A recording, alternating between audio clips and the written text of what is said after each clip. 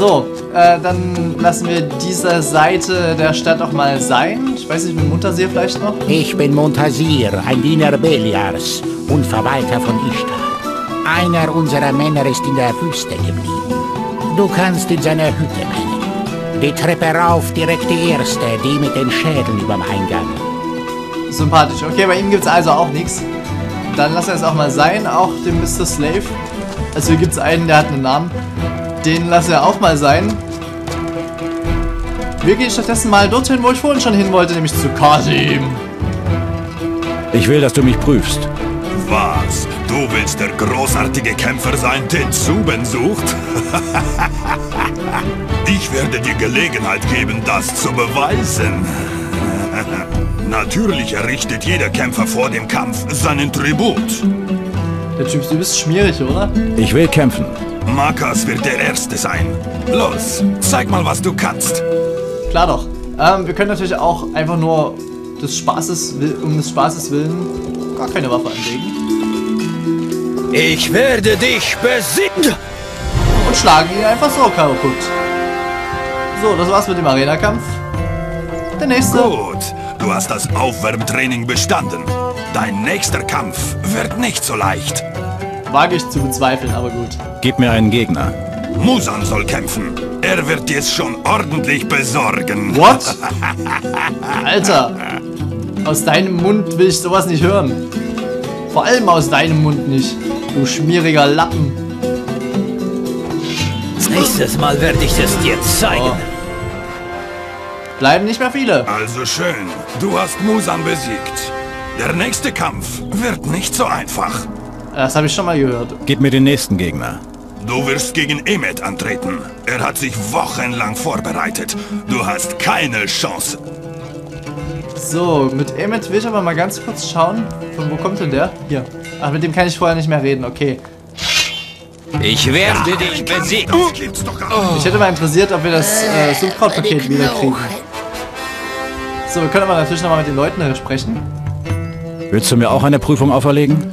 Weißt du, ich halte nicht viel von diesen Prüfungen. Da werden gute Männer irgendwo hingeschickt, nur um ihren Mut oder ihre Kraft zu beweisen. Heißt das, du willst mich nicht prüfen? Weißt du, ich denke, wenn du schon was beweisen willst, warum dann nicht etwas Sinnvolles? Geh zu Kaffa, er bewacht die Brunnen vor der Stadt. Bei ihm ist immer was zu tun. Sieh mal, ob du ihm Nächstes helfen Mal kannst. dir zeigen. So. Na, sprichst du mal mit mir? Achso, er wollte Hey erst mal sein Mann, Schwert. du kommst wohl auch nicht von hier.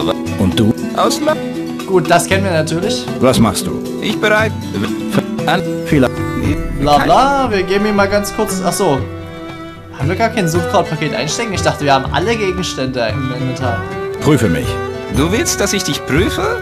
Dann gehe nach Lager und besorge mir ein Paket feinstes Sumpfkraut. Ach so. So ist das natürlich. Wir haben doch welche. Mit freundlichen Grüßen aus Lago. Hey, hey, sieh mal an. Ein ganzes Paket feinster Trainingsware. Ich spüre schon, wie sich mein Geist öffnet. Und wenn du deinen Geist auch öffnest, zeige ich dir, wie du deinen Körper beherrschen kannst. Okay, jetzt können wir auch die Akro... Ach, siehste mal. Die Akrobatik, deshalb. Wir haben natürlich schon Akrobatik gelernt. Deswegen hat es uns nichts gebracht da noch. Ich will Akrobatik lernen. Körperbeherrschung ist ein... Damit kannst du einen Stu... Aber Kennen wir. Hast du eine Prüfung für mich? Der Mann, den Zuben sucht, muss ein weitgereister, zäher Mistkerl sein. Das bin ich. Er kennt sich mit der Jagd aus und scheut keinen Kampf. Das bin ich auch. Es ist kein Problem für ihn, mir fünf Löwenfelle zu bringen. Aber nicht von den einfachen, von den räudigen Bastarden. Denn das sind die schlimmsten Löwen überhaupt. Ein zäher Mistkerl weiß bestimmt auch einiges über die Jagd. Und falls nicht, würde er sich jemanden suchen, der es ihm beibringt. Genau, also bei ihm können wir auch was über die Jagd lernen. Wo würde ein zäher Mistkerl die räudigen Bastarde suchen? Diese Viecher laufen durch die ganze Wüste und schließen sich fremden Rudeln an. Irgendwo im Westen gibt es ein ganzes Rudel von ihnen. Ach übrigens, ich habe auch Zarkos diese Prüfung gestellt. Wir machen uns, was das angeht, mal... Wir haben die Fälle jetzt natürlich schon einstecken.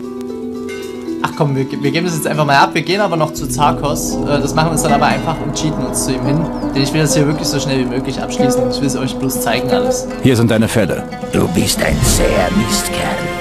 Ich denke, Zuben wird dich gebrauchen können. So. Musan damit auch abgeschlossen. Wir müssen aber noch einen Kampf erledigen. Du hast jetzt drei verdammt gute Kämpfer zu Boden geschickt. Ich sage dir was. Du hast meine Prüfung bestanden. Es gibt niemanden mehr, den ich dir schicken würde. Außer mir natürlich. Aber wir wollen ja fair bleiben. Und noch was. Hier, das Gold hast du dir redlich verdient. Ein feiger Schmierlappen ist Mach das. hier keinen Ärger, klar. So, gegen ihn können wir aber leider nicht kämpfen. Das bleibt dabei. Ich dachte eigentlich, wir können das. So, das hier war Makas, genau. Mit Sven weiß ich gar nicht, ob ich mit ihm reden möchte, ähm, weil der, würde ich denken, nicht mit zu dem Prüfungsteil gehört. Ja, das machen wir dann, wenn wir wieder im normalen Spiel sind, in unserem Spielstand. Ähm, das lassen wir jetzt aber mal außen vor erstmal. So, wir haben... Haben wir jetzt überhaupt noch ein Quest hier in Ishtar offen? Müssen wir eigentlich gerade mal schauen. Die Brunnen vor der Stadt, Prüfung der Assassinen, okay. Ähm, wir gehen mal kurz hier noch zu dem Schwarzmager, der hier drüben sitzt. War hier? Nein. Er war hier. Jawohl. Der Lazar, genau. Willkommen in Ishtar, Sohn des Nordens. Ich bin Delazar, Magier und Alchemist. Wie kann ich dir helfen? Ich will von dir lernen. Natürlich. Meine Künste stehen jedem zur Verfügung, der es bis nach Ishtar geschafft hat. Gut, wir können natürlich auch ein bisschen alte Magie lernen. Bring mir etwas über alte Magie bei. Warum nicht? Es ist ja bloß so zum Spaß jetzt gerade, um alles mal zu sehen, ne? Ich will den Stabkampf lernen. So ein Stab ist verdammt lang. Damit kannst du deine Gegner auf Abstand halten. Wenn du ordentlich zuschlägst, hat kaum jemand eine Chance gegen dich. Super. Dazu bist du noch nicht bereit. Uh, das fehlt mir da. Fehlendes Talent, schnelles Lernen. Ah ja. Ich will besser werden im Umgang mit dem Stab. Dein Gegner wird deinen Stab immer unterschätzen. Er wirkt nicht so gefährlich wie ein Schwert oder eine Axt. Nutze dies. Es gibt Manöver, die mit einem Schwert nicht möglich sind. Wenn du deinen Gegner überraschen kannst, hast du schon fast gewonnen. So, machen wir nochmal kurz den Stab durch. Zeige mir, wie ich magische Stäbe benutzen kann. Nimm den Stab in deine Hände und spüre seine Energie. Erforsche diese Energie und bringe sie mit deinem Geist in Einklang. Nur dann können die Kräfte des Stabes mit deinen eigenen verschmelzen. So, wunderbar. Die Roben können wir ja nicht machen. Wir könnten natürlich auch Alchemie machen. Bring mir was über Alchemie bei. Und ich glaube, das geht nicht bei jedem. Wir können hier lernen, Waffen zu vergiften. Ist aber, muss ich sagen, jetzt... Also, Waffen vergiften ist sowas... Wenn es der Gegner, wenn es die gegnerischen NPCs drauf haben, ist es verdammt nervig. Wenn man es selber kann, ist es nicht allzu hilfreich, weil man sowieso meistens alles umbringt. Und nicht bloß antitscht und dann geht. So, aber das, äh, dieser ganze Alchemie-Teil, der interessiert mich ehrlich gesagt nicht so sehr. Kann man aber auch sich ein bisschen halt drin vertun. Wir können jetzt auf jeden Fall auch die Stäbe benutzen. Und da können wir uns natürlich auch mal hier den Richtstab... Habe ich nicht gerade Stabkampf 3 gelernt? Gut, da können wir den Richtstab noch nicht tragen, aber zum Beispiel den Klingenstab können wir tragen. Ein guter Rat von mir. Waffe weg. Oh, das wollte ich gar nicht. Ach, okay, dass ich den Sklaven umgenietet habe, ist nicht so schlimm. Na dann. Ich glaube, bei Zuben war sonst niemand mehr drin, der einen Namen hat. Dann lassen wir das auch sein. Und schauen noch, ob Assam uns vielleicht eine Prüfung geben kann. Hey, hast du nicht was vergessen? Was? Du nimmst doch an der Prüfung teil. Jetzt glaub bloß nicht, dass ich dich nicht prüfen werde, nur weil ich nicht in der Stadt stehe. Was darf's denn sein?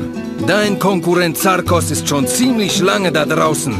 Er jagt Löwen oder sowas. Er hat mir eine alte Schale abgenommen. Abgenommen? Beim Kampf in der Arena. Aber er hat nur durch einen Trick gewonnen. Also bring mir die Schale zurück und erledige Zarkos bei der Gelegenheit. Machen wir.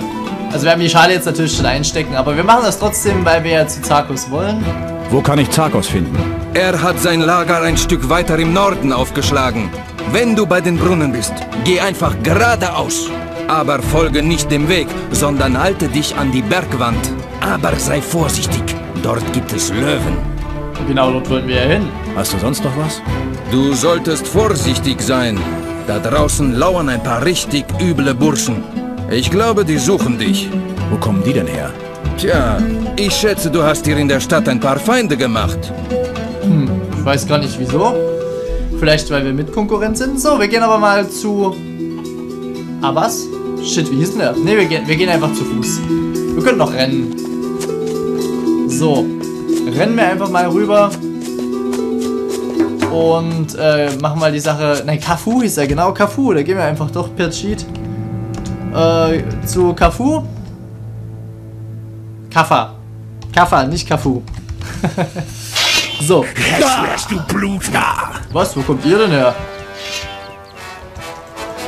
Gut, dann klären wir das mal gerade hier.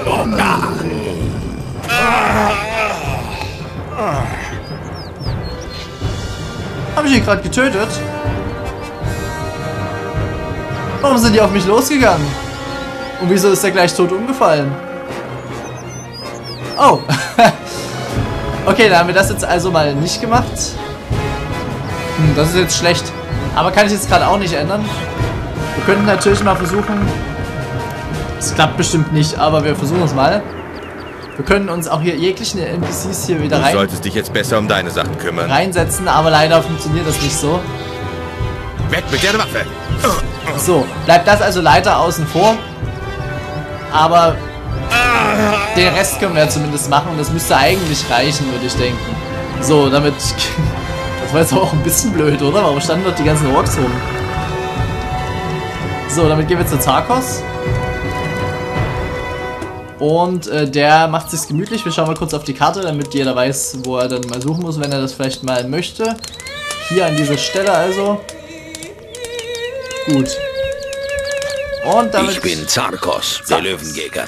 Das ist eine ziemlich gefährliche Gegend hier. Was führt dich her? Bring mir was bei. Das kann ich tun. Ich verstehe viel von der Jagd. Allerdings wirst du für mein Wissen bezahlen. Sehr hilfreich. Ich nehme an Zuvens Prüfung teil. So? Dann bist du mein Konkurrent und damit ein mögliches Problem. Und Probleme müssen beseitigt werden. Ich schicke dich zu Belia. Sympathisch. So, haben wir das aber mal geklärt hier? So, zwei auf einen Streich, kein Problem. Ich weiß gar nicht, ob wir ihn töten müssen. Sieht aber so aus. So, haben wir einen Konkurrenten aus dem Weg geschafft. Wir können ihn ta- natürlich auch einfach töten, die anderen Konkurrenten. So, ich weiß aber gar nicht, wo genau die Schale jetzt ist. Ob der die einfach einstecken hat?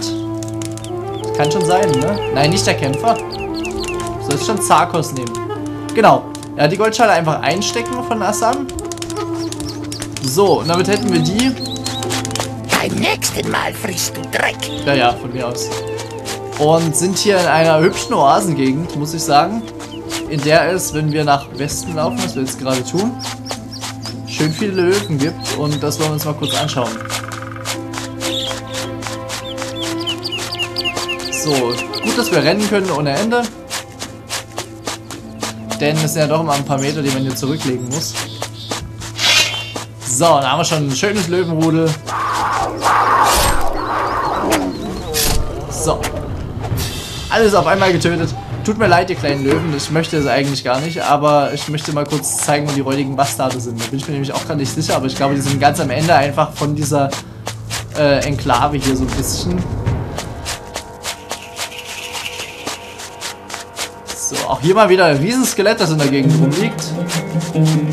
Warum auch nicht? Kann man ja mal die Gegend damit dekorieren. Und hiervon müssten sie eigentlich... Ich glaube, das ist eine Höhle, in die wir rein müssen, oder? Sind die einfach davor? Bist du ein räudiger Bastard? Nein, du bist kein räudiger Bastard. Ich... Hier! Du bist ein räudiger Bastard. Ein richtig räudiger Bastard. So, ich möchte eigentlich gar keine Löwen töten, muss ich zugeben. So, aber wir, wir tun es jetzt einfach mal fürs Quest. Ich habe ja auch Wassermagier getötet, obwohl ich das nicht wollte. So, und hier haben wir also die ganzen räudigen Bastarde in der Höhle drin.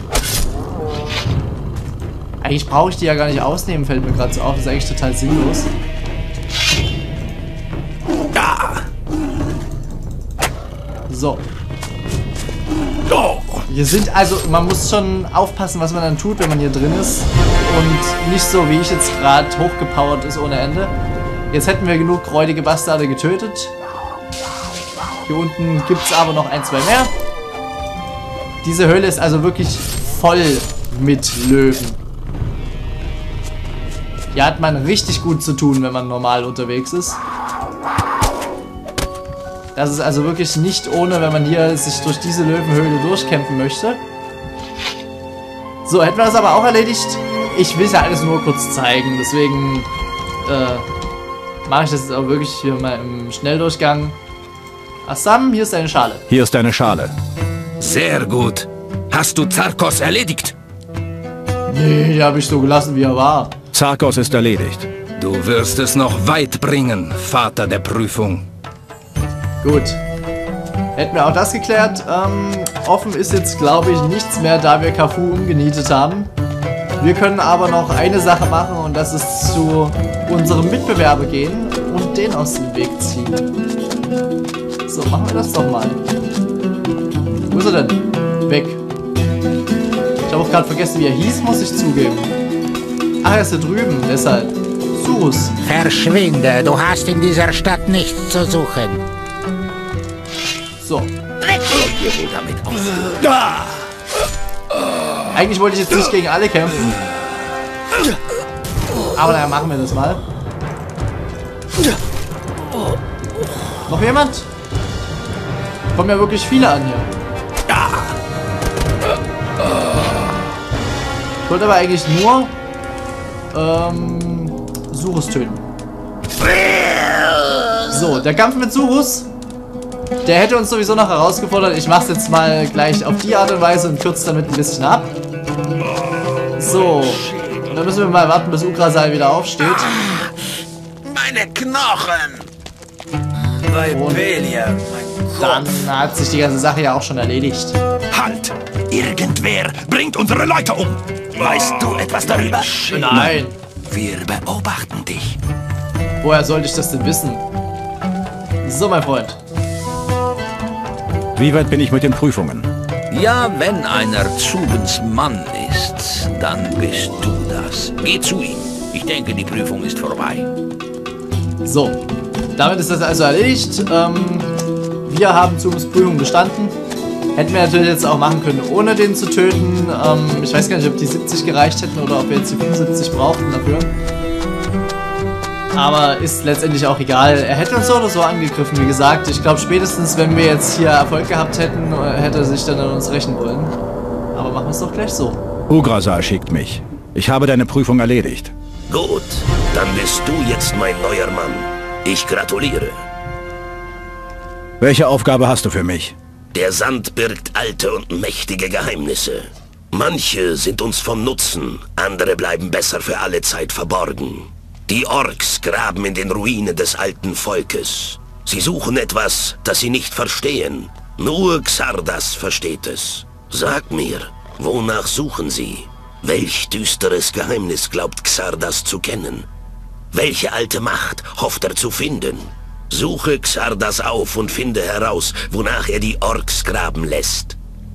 Okay, hier schlagen wir uns also quasi auf die Seite von Zoom und müssen für ihn ein bisschen Aufklärung betreiben.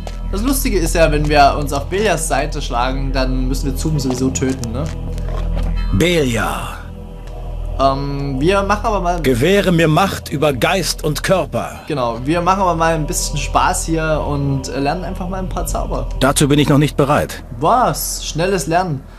Ah, dann muss ich mal ganz kurz schauen, da ich jetzt gerade nicht weiß, wo wir hier schnelles Lernen bei irgendeinem NPC lernen können. Hier schnelles Lernen. Äh, LT Perk Learn, okay. Oder IT. So, machen wir das doch mal ganz kurz. Ähm, IT. Nein, immer noch klein das T. Perk Learn. Fuck. Ähm, wo habe ich mich denn verschrieben? War das doch ein kleines L? Nee, oder? Probieren wir mal. Perk. Learn. Hm, aber es steht so hier drin. Also die anderen haben ohne Probleme geklappt, aber mit dem... Nochmal kurz mit dem großen I. IT. Slash. Äh, Unterstrich. Perk. Learn. Nee, will er nicht. Das ist natürlich ärgerlich. Ähm... Wo kann man das denn... Aber man kann es auch nicht hier lernen, Belia, oder? Alte Magie, hohes Wissen, alte Magie. Hm. gewähre mir Macht über Geist und Körper. Das ist jetzt natürlich ein bisschen blöd, dass wir wegen dem Mist das jetzt nicht ausprobieren Dazu können. bin ich noch nicht bereit. Krankheit übertragen. Okay. Fangen wir mal damit an. Krankheit übertragen, Schrecken, vergiften. Dazu bin ich noch nicht bereit. Da fehlt uns immer noch das schnelle Lernen. Aber den Nebel können wir machen. Gewähre mir Macht über Tod und Zerstörung. So. Vergessen. Blutrausch. Dazu bin ich noch nicht bereit. Skelett beschwören. Dämon beschwören. Seelenwanderung. Also wir können alles machen bis auf den Blitzschlag. Seelenwanderung. Ich habe die ehrlich gesagt auch noch nie ausprobiert. Das können wir eigentlich mal so spaßeshalber machen. Also wir sind jetzt eigentlich schon wieder äh, durch. Wir haben ja jetzt eigentlich schon alles gemacht, was wir hier tun wollten. Nämlich mal kurz die Quests zeigen. Von daher können wir doch eigentlich mal ein bisschen Schindluder treiben, oder?